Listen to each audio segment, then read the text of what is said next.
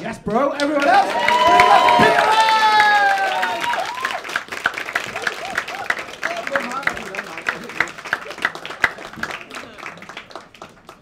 Good evening, Hot Water. How are we doing? Yeah. Brilliant. Great to be back in the club, isn't it? It's fantastic.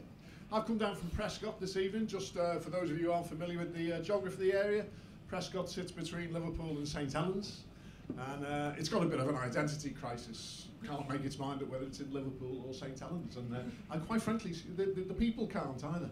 And it's, it's, it's important, you know, when you're a kid growing up, you've got to have some identity, haven't you? And so, um, well, there's a little rule of thumb that you can apply, which is that if your dad's sleeping with you or your sister, you're from St. Helens.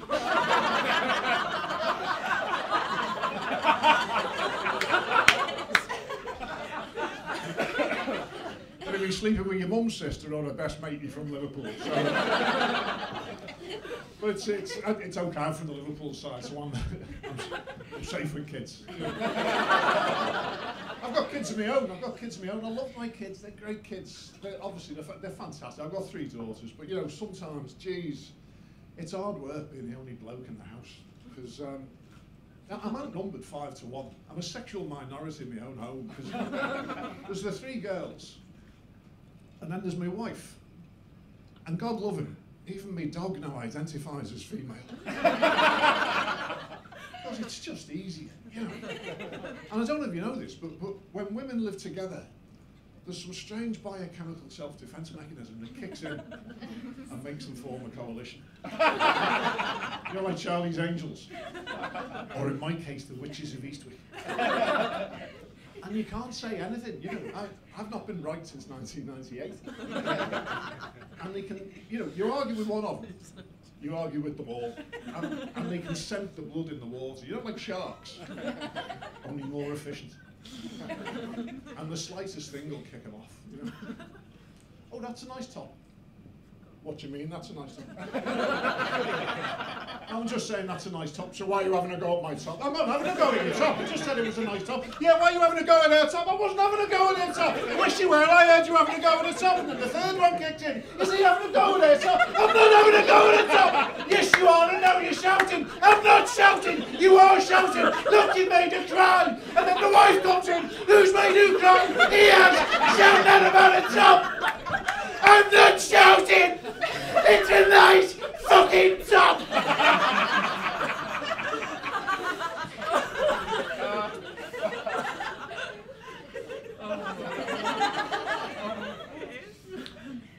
so why couldn't you just say it was a nice top?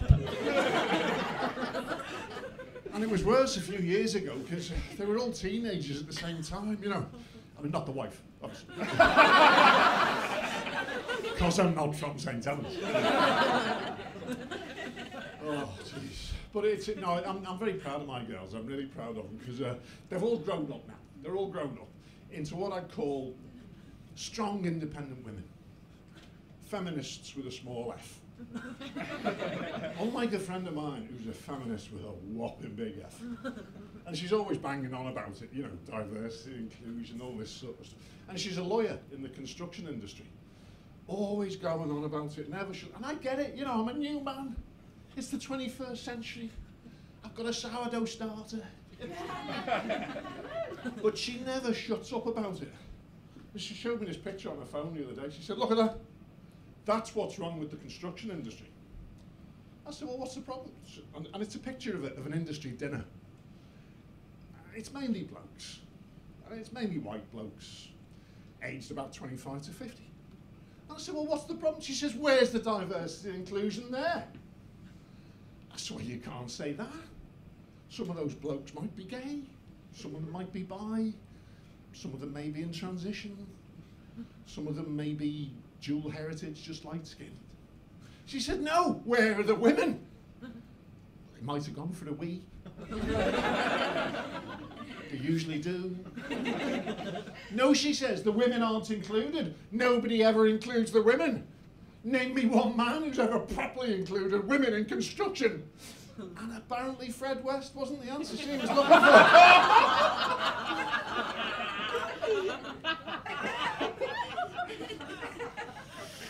But the good news is, the good news is that um, So the gender imbalance in my family has, has been redressed because I'm a granddad now. I know I don't look old enough, but I'm a granddad now. I've got two grandsons, two and five, and, and the eldest started school last year.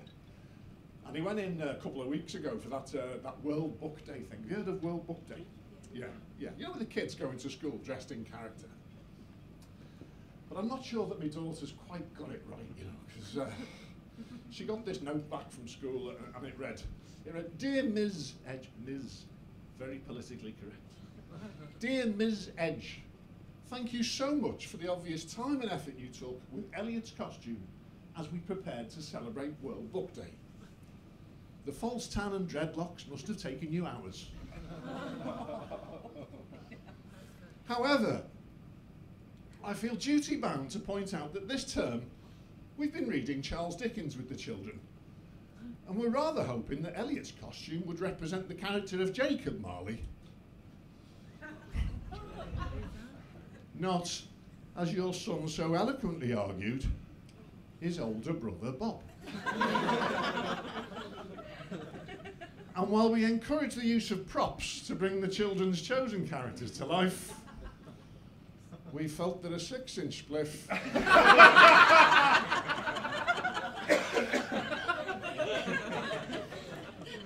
perhaps overstepped the mark for year four. Thank you for your continued support, Mrs. Davis. Yeah, so we've got all that to contend with. But uh, the, the good news is, the good news is that the youngest girl's getting married. She's told us she's getting married, and we couldn't be happier for her. Well, I say we couldn't be happier. We couldn't be happier until she told us how much it was going to cost. so what's the first thing you do as a dad? You go on Google, you know, average cost of a UK wedding 2022, £30,000. £30,000. Have you any idea how many lights I'd have to turn off? so we've been looking at ways that we might be able to save a bit of money on the wedding. Wedding photographers. Grand and a half for a wedding photographer. When me and my missus got married, my mate did it for a couple of pints and a curry. I was a proper photographer. He was qualified and everything, but he was a scenes of crime photographer. Wasn't used to working with the living. Which came in quite handy with my family. came in quite handy in general because uh, most Scouse weddings end up being a crime scene one way or another. but it was okay, you know, because once you got over the initial shock, you know, of him turning up with plastic bags on his feet and a shower cap, it was okay. But it got a bit weird because we got to the cutting of the cake and he insisted on photographing the knife separately. A little label on it, stuck in a plastic bag. We never saw it again. But the good thing, he wasn't phased. He wasn't phased because a couple of weeks before the wedding, my auntie Peggy died. No, it was much sadder than that. My auntie Peggy died. But he didn't make a big fuss. Just you know, on, on the family photograph, he just put a little white outline of where she should have been. With my uncle Matt looking into the space, sobbing, holding a ruler. but um, yeah, it's all going ahead. It's all going ahead, and uh, but it's not been easy getting to this stage because you know my girls, they're all good-looking girls. They're all stunners, you know. And over the years, that attracts a bit of male attention, and it's not always welcome. And these lads just won't take the hint. And there was this one lad a couple of years ago, Jesus, he was on the phone, he was at the front door, he just wouldn't take the hint. And I, I was at my wit's end, because you feel a bit protective as a dad. And then my saviour arrived in the form of Liam Neeson. now, this might be a bit of a spoiler alert, but if, if you've never seen the film Taken, Liam Neeson plays an ex-CIA operative who doesn't mind getting his hands dirty. And his only darling daughter goes on a holiday to Paris, a holiday that he doesn't approve of. And on her very first day there, she's kidnapped by Albanian people traffickers. And she's screaming down the phone when she rings her dad, she, but she gets snatched and she drops the phone. And the phone's still live. And the kidnapper picks it up. And Liam Neeson can hear him breathing. And he says to him, I don't know who you are. I don't know what you want. If it's money you're after, I don't have any. But what I do have is a particular set of skills. Skills acquired over a very long career. Skills that make me a nightmare for people like you. Give me my daughter back, and that'll be the end of it. I will not look for you. I will not pursue you. But if you don't, I will look for you. I will find you. And I will kill you. Now, in fairness, the lad took it quite well. you know. For an eight year old. You know. Anyway, ladies and gentlemen, you've been a lovely audience. I've been Peter Edge.